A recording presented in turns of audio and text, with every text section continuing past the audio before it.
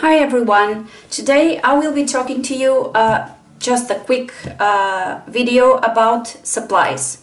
So the supplies are almost all the same for all the patterns so I'm gonna post this video with the supplies and explaining all the supplies that I use and then uh, on my videos I will not talk to, the, uh, to you uh, again about them because this is uh, done all the time except of course if there's a specific pattern in which we need some metal accessories. Probably I will talk about it but the main supplies I won't so what we have here I have uh, an example. This is a cone that I have with polyester thread. This is uh, what I use on my machine. And on my straight stitch machine I also use polyester uh, threads uh, then we uh, always use some clips to secure the pattern to the to the fabric to cut and also sometimes for the straps to attach the straps to the pattern to the main fabric etc pins this is something that you always need. And of course a needle uh, to sew some areas that we will need to sew by hand this I think it's a hand picker I don't know the name in English but uh, this is when you do something wrong and then you have to uh, cut your threads. So this is also very useful. Then I have a small scissor a big scissor and my roller. This I use to cut uh, all my threads when I'm working on the table. Uh, I don't actually cut fabric with scissors so I use this scissor for my pattern for my paper cut so if you use the scissor for the paper, you must have a different scissor for the fabric. And this is how I cut my fabric, always with my cutter. This is the way I prefer and you can change the blades and it's very, very good. It's very sharp, but very good. Then I use rubber elastic, 6 millimeters rubber elastic. Um, it's This is very good. Uh, I use uh, 8 millimeters seam allowances or on our newest uh, designs. So we will always cut a little bit and the rest uh, we will use on the seam allowance for the elastic. So a lot of rubber elastic. Then uh, I use this uh, ruler that I love. Uh, not all it's not supposed to cut with this because with your with your this I don't uh, up. I don't know the name in English sorry. I must study this but with this usually you cut your ruler. So when you want to cut usually you should use an iron uh, ruler. And with this you are sure that you can cut and never ruin your rulers. So this is why I have this one. But I also use this a lot then I also have this big ruler with the parallel um, lines uh, horizontally and vertically and this is very good also. When you are designing something um, it's very useful. Then uh, of course tape to cut to glue to tape all your uh, pattern pieces together paper pattern pieces together. And then the fabrics. Uh, well the fabrics I can do an entire video about fabrics uh, uh, it depends. Sometimes when I'm doing a non-reversible, I do it differently from a reversible. Um, but I'm leaning towards non-reversible late, lately. Um, I, I, will ex explain to you this uh, later on on a, on a video. But uh, if we are doing a reversible piece, we must be sure to have two fabrics that we love we have to choose one main fabric and the self fabric, the lining. So fabrics, we need to have fabrics.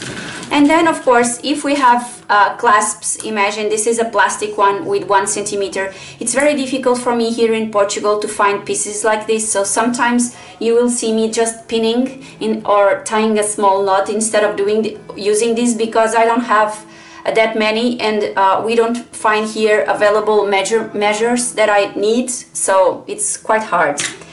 Uh, sometimes you uh, use strap adjusters. It's uh, rarely that I use this because this is very thin. This is for bra making and uh, my, my strap uses elastic.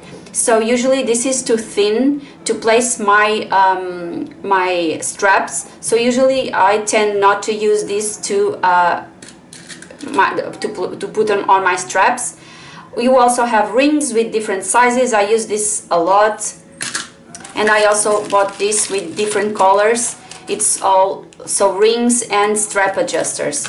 And of course you can ha have more rings or other pieces. Please take into consideration that these pieces um, must be uh, for swimwear or you will have a problem after using your swimsuit.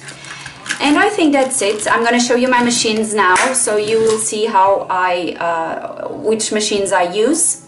And uh, it will be, oh, of course, I was forgetting my loop turner. This is an old loop turner. Uh, so uh, it's missing a small part here. So it's a bit harder for me to uh, reverse the straps, but it's the one I have. So a loop turner to reverse your thin straps to the right sides. Sometimes when I'm designing patterns, I also use some rulers that I have that have curves. I have a lot of them, so this is an example of one of them. Now let's go over to the sewing machines. So this is this is my overlock. It's a Bernette B48. Uh, it's it has a cover stitch uh, here, uh, which I never use. I'm I know I should, but I never use. Um, so I have the cover stitch and I also have uh, my overlock stitches, so the four of them. I have the two needles over there. This is a very good machine because you can uh, regulate lots of things. I, this is how I have my my threads, the tension of uh, my different threads. So my left needle, my right needle, and then uh, both uh, underneath um, the, the stitch. And then uh, I can regulate also here the foot pressure and I also have other regulations there and my um, my cutter and my the size of my stitch so the width so I have lots of things that I can use and I really love it this is the overlock this one is the straight stitch machine it's also a Bernette uh, B38 uh, she's digital, but uh, it's fine if she wasn't, but I like it. So this is the speed regulator, so you can adjust the speed if you need to. Uh, it cuts automatically. You can sew with two needles. This is for the needle to end up um, up instead of down on the fabric because every time you stop on this machine, the needle always stays down. So if you want it up, you put it here. This is the tension. Uh, it's very easy to, to put your, uh, I don't know the name in English for this, but you know, the ones that have the threads uh, that we put underneath there. I don't know the name, sorry.